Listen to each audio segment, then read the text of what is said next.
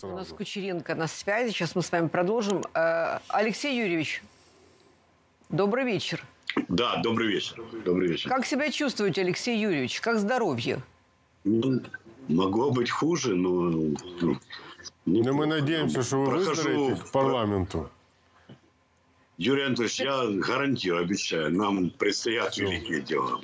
Отлично. 15 числу вы должны быть в строю, Выздоравливайте. 15 февраля. Э, Есть, а сейчас есть. очень серьезный вопрос. Смотрите, э, Алексей, а вы видели этот кусочек, я знаю, что вы его и раньше смотрели. Э, Мы как раз начали обсуждение э, с Юрием Анатольевичем заявления Лукашенко.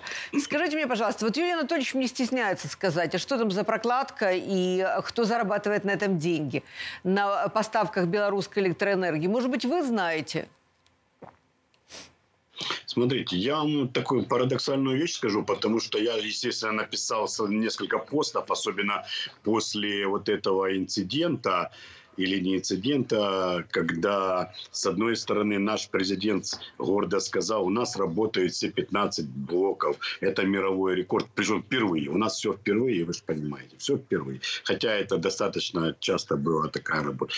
После этого выяснилось, что эти 15 блоков нам не нужны в одновременной работе. Они создали профицит электроэнергии, э, который в результате цену обвалил на рынке, и в результате без денег остались генерация и шахтеры. Но самое главное, я задаю простой вопрос. А зачем, если у нас так много атомных блоков работает и теплая зима, зачем мы берем электроэнергию из Беларуси? И более того, мы за аварийной поддержкой обращаемся к Беларуси, о чем не применул господин Лукашенко в интервью российскому журналисту э, сказать. И это ж понятно было, что он обязательно будет это использовать. Он Ну вот же говорит Юрий Анатольевич, что кто-то на этом зарабатывает. Ну это же святое дело. А вот, на наверное, этом поэтому и берем. однозначно кто-то зарабатывает. Единственное, я хочу сразу расставить точки над «и». Вот как только я написал по- пост, а мне сказали, а что вы не передаете дела в ДБР?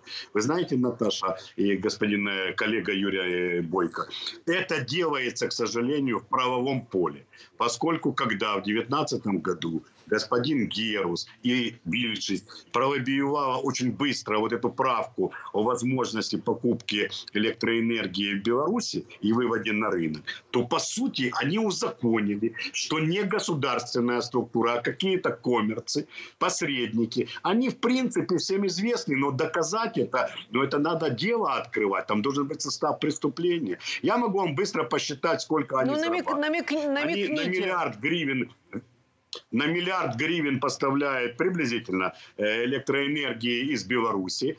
Это наши шахтеры не получают, наши станции тепловые, угольные не получают этот миллиард в месяц. И по, моим, э, по моей информации, там 99% достоверности, они зарабатывают приблизительно 30%. Согласитесь, 300 миллионов гривен в месяц, это больше 10, это 12 миллионов долларов. Как они там делятся и кто курирует? Ну, у нас всю энергетику курируют из одного здания, из офиса президента. Я думаю, уже ни у кого сомнений нету, да, где у нас энергетический центр страны. Поэтому там все просто как божий день, э, дурят украинцев, но в, за- в законном правовом поле. Вот так работает сейчас, ну, вот та- так называемая биржа. Правда, они попали в международную очень пикантную ситуацию, но им, по-моему, это, на это плевать. Главное, деньги. как Что за пикантная ситуация международная? Что вы имеете в виду? ну, еще раз, ну мы же Беларусь, вот кто же, о чем господин Бойко говорит. Он, мы, мы его окрестили диктатором, впереди паровоза. Никто нас туда не затягивал. Вот это искусство делать врагов на ровном месте.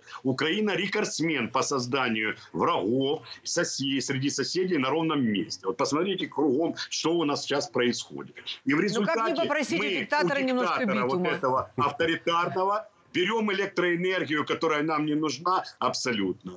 Понимаете, а есть еще пикантный момент, когда я, это в средствах массовой информации, господин Герус, глава комитета профильного, звонит министру энергетики Беларуси и договаривается с ним про импорт электроэнергии. Это было там полтора года назад. Ну вот вам, ну что вам еще рассказывать? Там? Обязательно там где-то ищите НКРКП, национальная комиссия, которая помогает этому, и Укрэнерго компания. Там, Национальная там комиссия поищешь, хороший между конечно. собойчик. Оплатим мы с вами.